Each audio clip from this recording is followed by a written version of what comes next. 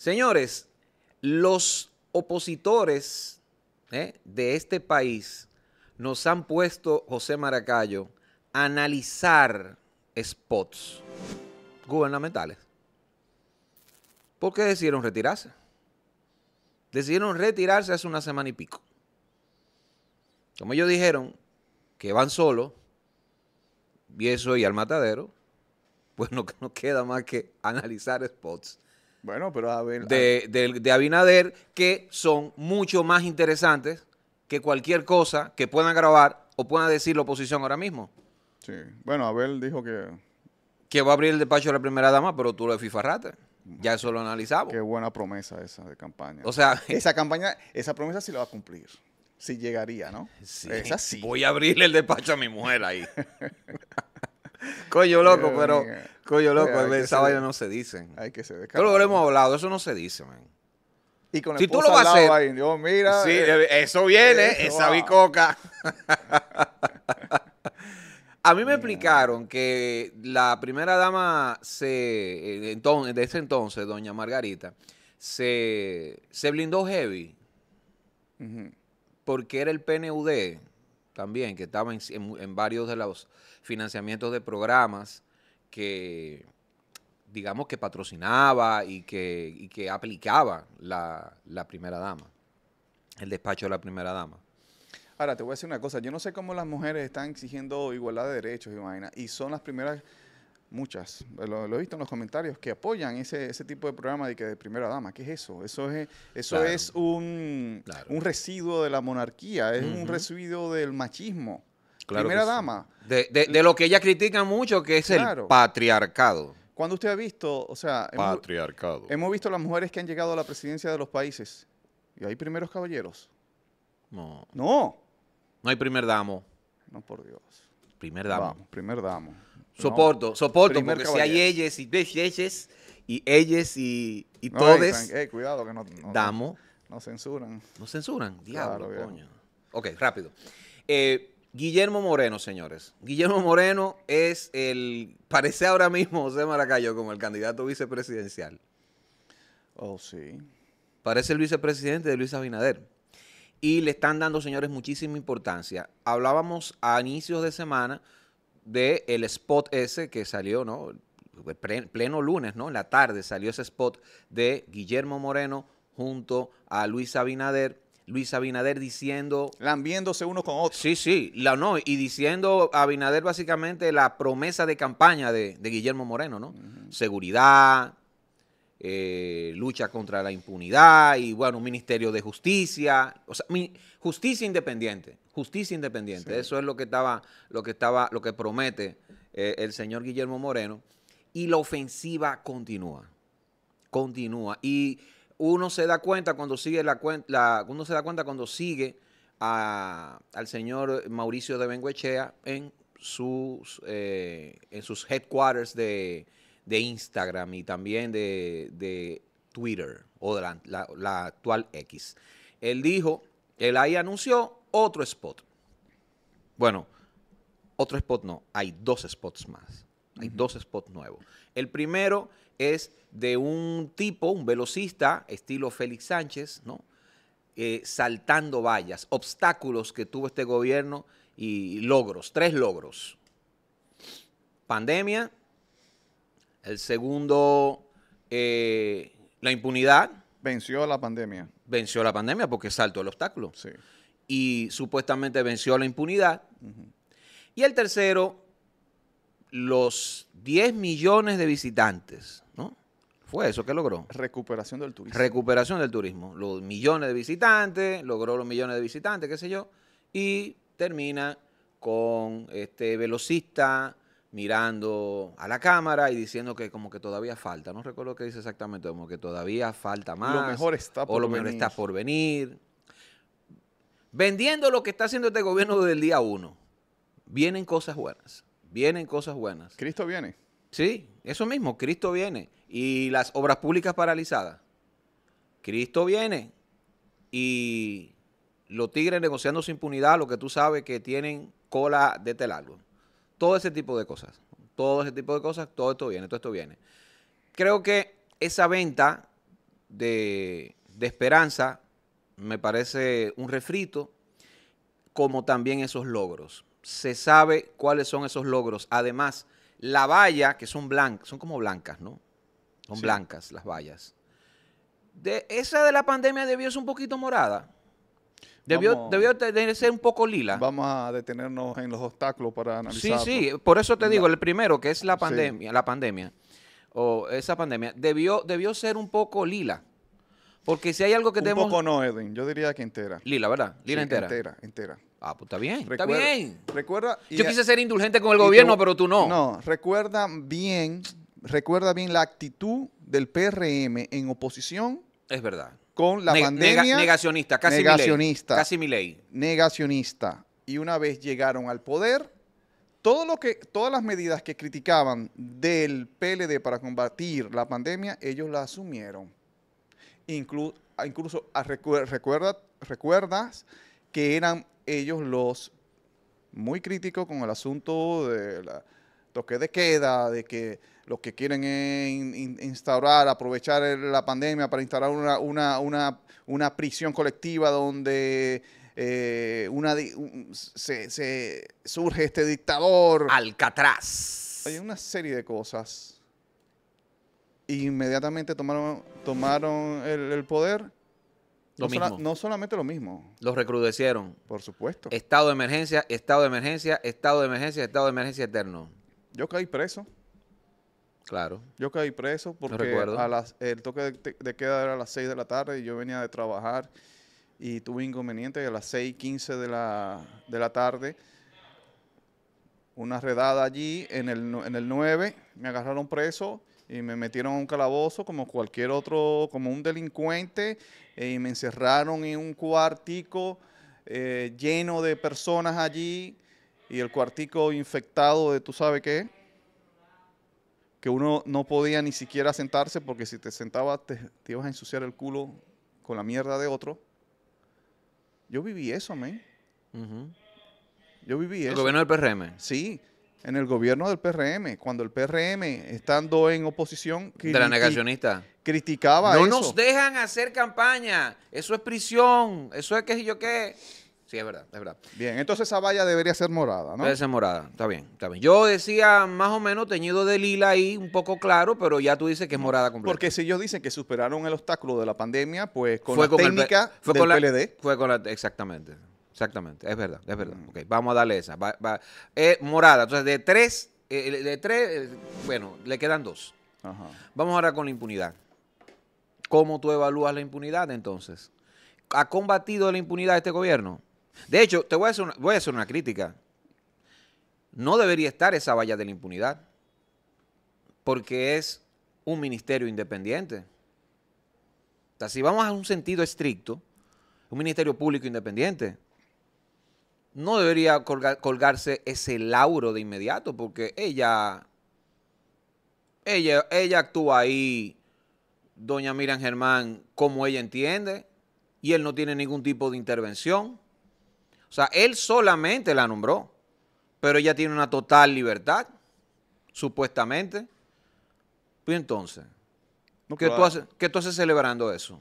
No, y además, ¿qué resultado hemos tenido de todos estos juicios? ¿Qué resultado? No, no tiene ningún resultado.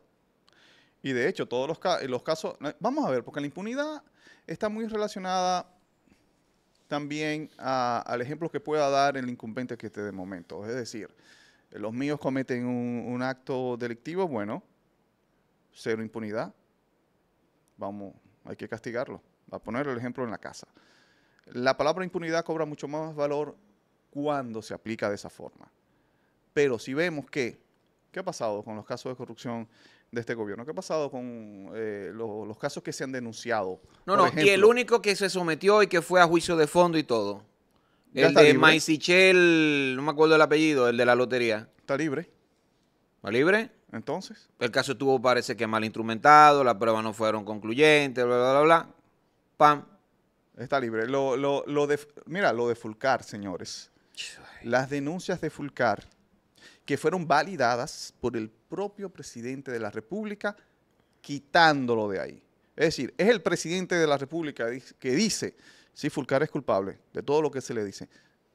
porque lo quitó. Pero no solamente Entonces- validado por él en esa acción, porque de alguna manera lo protegió, lo mandó fuera del país. Eh, el ministro actual de Educación, ¿qué dijo? No, yo, aquí yo encontré un desastre. Yo encontré muchísimas cosas. Le tiró mucho a basura a él. ¿Y qué pasó? Pero a ese mismo ministro dijo que hasta lo, amenazaron con quitarle su vida porque estaba descubriendo mafia. ¿Y el Ministerio Público Independiente qué pasó? ¿Por qué no investigó ese tipo de cosas? Se están celebrando uno con otro, eh, nos engañan, nos mean desde arriba, diciendo que son serios también. Por- creo, que, creo que es conveniente decirlo. En LA semanal, en la LA semanal más reciente, en su rueda de prensa, eh, donde lo que hacen es exhibir, eh, eh, eso no es una rueda de prensa, eso es un infomercial en vivo, live action, donde el más reciente, el contralor, que no está para hacer auditoría, porque es un funcionario nombrado por el presidente, ya ahí se contamina todo, estaba felicitando a todos los funcionarios públicos porque lo que encontraron fueron faltas menores. Hermano, quien audita es la Cámara de Cuentas, no usted. ¿Qué felicidad? ¿Qué felicitaciones tiene usted que dar? ¿Qué felicitaciones del diablo tiene usted que dar? Entonces los periodistas ahí, como idiotas, la mayoría, no decir todos, ¿no? Pero como idiotas y como focas aplaudiendo eso. Nadie pregunta nada, nadie dice eso, que estoy yo, que estoy yo aquí hablando. Bueno, Martín Esposo creo que lo dijo el otro día. Yo, pero, pero, presidente, yo entiendo que usted no nos quiere engañar. No, sí, no quiere engañar. No quiere engañar al presidente. Me quiere coger de pendejo. Qué impunidad del diablo. O sea, ya dos de esos obstáculos no han sido vencidos. Se deber- el, el- el corredor debió caerse ahí. Sí, debió caerse. Debió caerse. Pero mal caído. El único que yo creo que trascendió fue el de el turismo. Vamos a ver. Yo creo que el de turismo trascendió José Maracayo porque este gobierno fue muy audaz.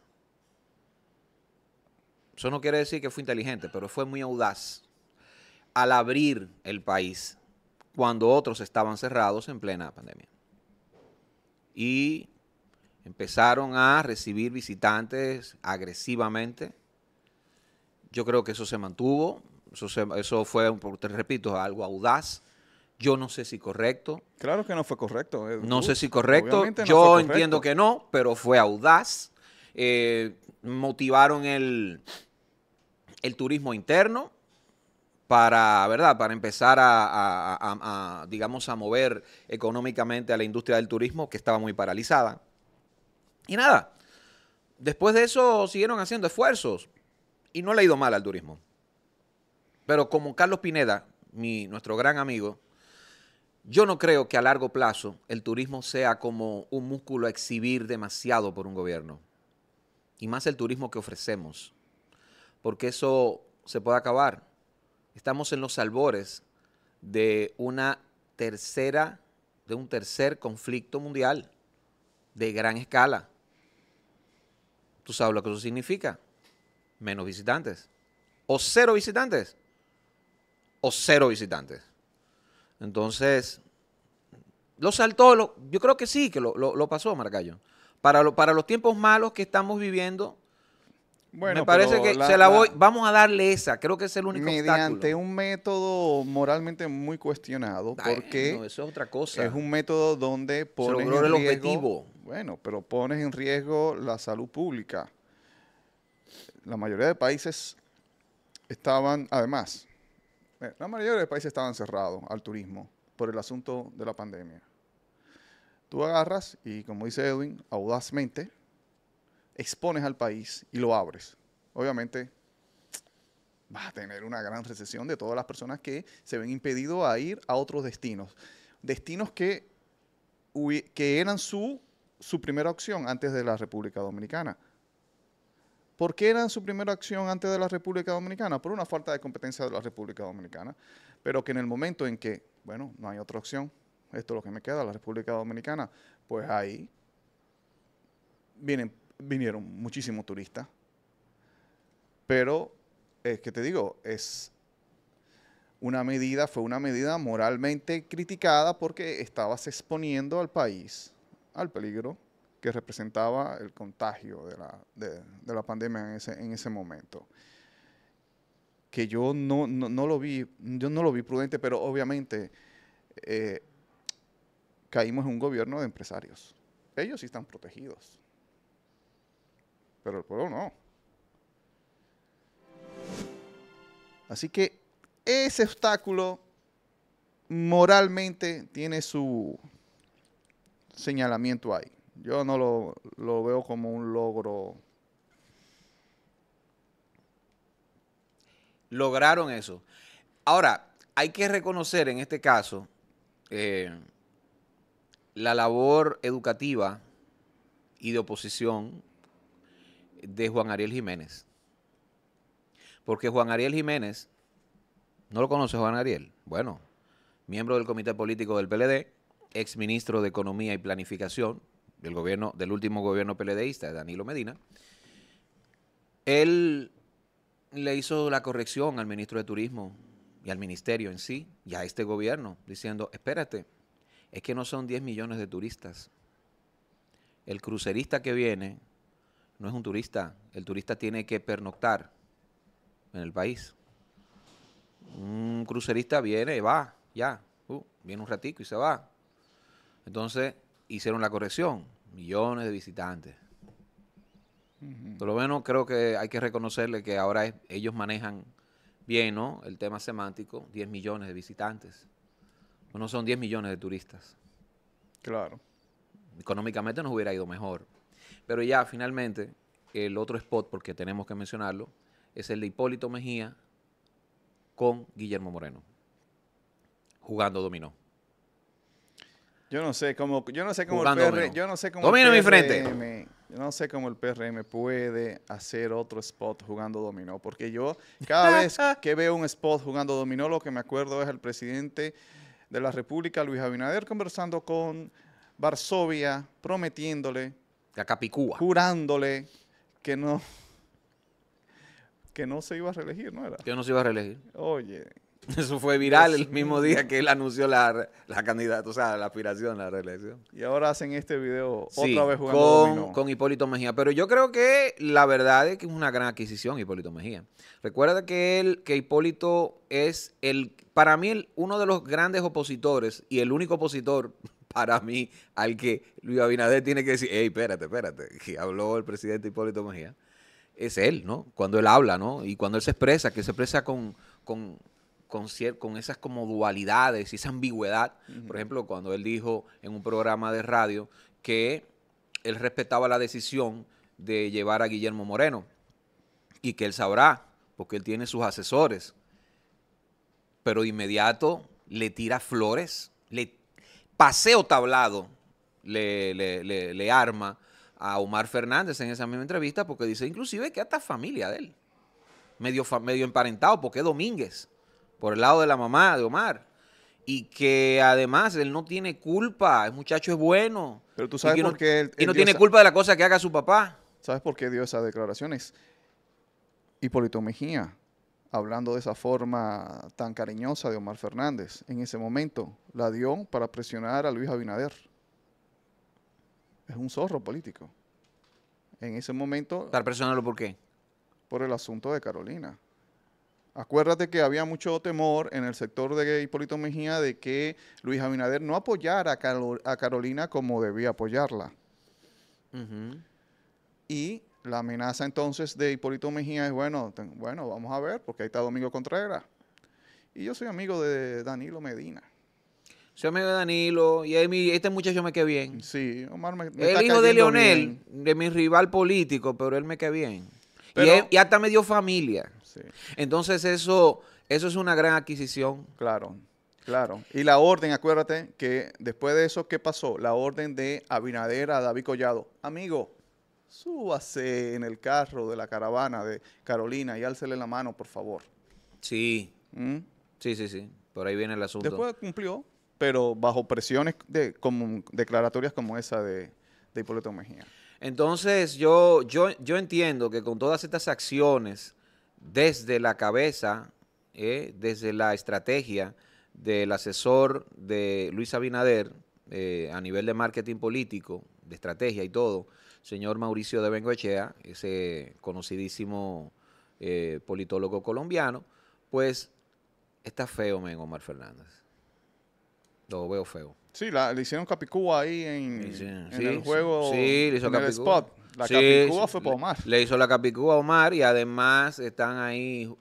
No, no, no, no reconozco a uno que tiene una camisa azul, pero yo sí reconozco, reconocí dentro de los jugadores a Eddie Olivares. El siempre afable, estimado Eddie Olivares, hombre fiel, hombre siempre de Hipólito Mejía, Sí. ex juez de la Junta Central Electoral, que hizo un gran trabajo ahí. Creo que lo único, o sea, el único punto luminoso, o de los pocos puntos luminosos que tenía esa, esa Junta Central Electoral encabezada por Roberto Rosario, era el, el amigo Eddie Olivares. Entonces, señores, eso es lo que hay. Así nos tiene la oposición, hablando de la campaña de Luis Abinader porque decidieron darle la victoria al asistir separados, Sí. cometer ese grave error. Ahora, eh, eh, vamos a eh, analizar este, este spot que tenemos a Hipólito Mejía jugando domino con de frente, ¿no? Sí. Con ah, tú quieres ver más, Guillermo Moreno. quieres ser más semiótica, ok. Bien. Eh, como yo te decía, en el spot que vimos, la conversación alabándose uno con otro de Luis Abinader y Guillermo Moreno, que dentro de los tantos mensajes que da es un mensaje directo a la oposición de, bueno, mi, ara- mi alianza rara con Guillermo Moreno lo es, es rara, pero, pero es de verdad. Rara, pero es de verdad, estamos unidos. Cosas que ustedes no pueden hacer. Y se complementa ahora con, bueno, Hipólito Mejía, que es el hombre que tiene contacto con Danilo Medina, que es amigo de Danilo Medina. Eso, eso es interesante, eso que dices. Entonces, mira, Tú, Hipólito, tú- tú dirías que es como una parte, es una parte, de alguna manera es como una parte de Danilo Medina dándole su anuencia. totalmente. Mira cómo está Hipólito Mejía aquí apoyando 100% a Guillermo Moreno. Bien, eso está claro.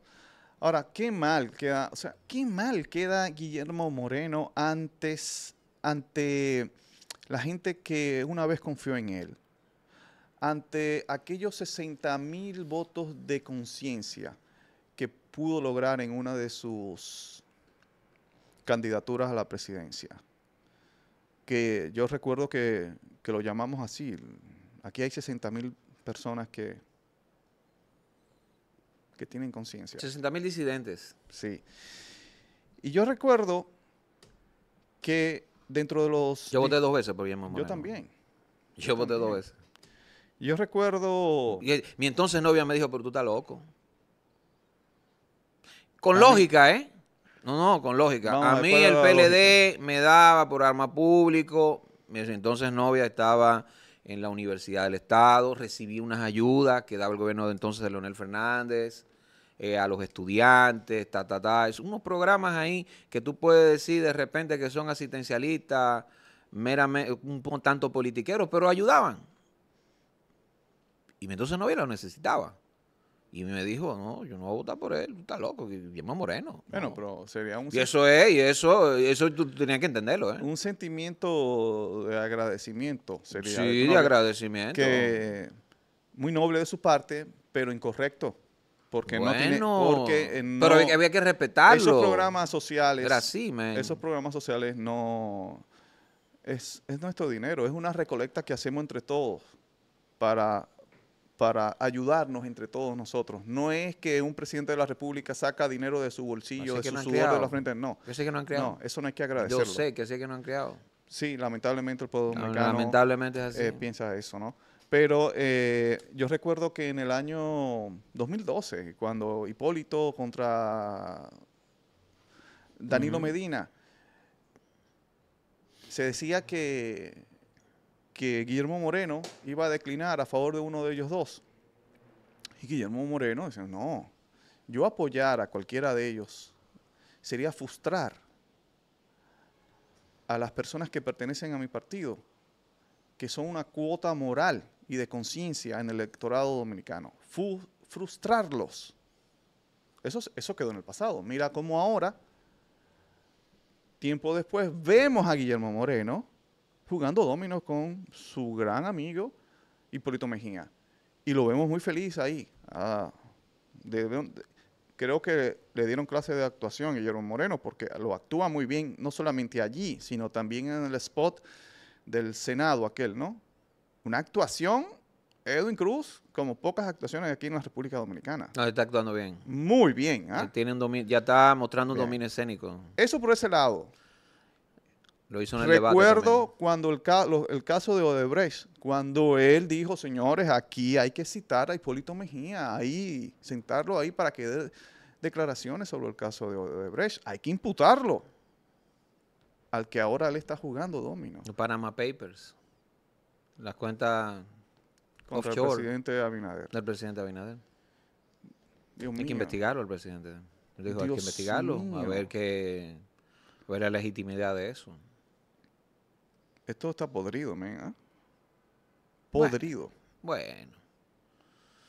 Bueno. Nada, señores. ¿Qué opinan ustedes? Esta es la quinta pata. José Maracayo de Cruz. Recuerden suscribirse, activar campanita y, y compartir el contenido para seguir creciendo como lo hacemos día a día.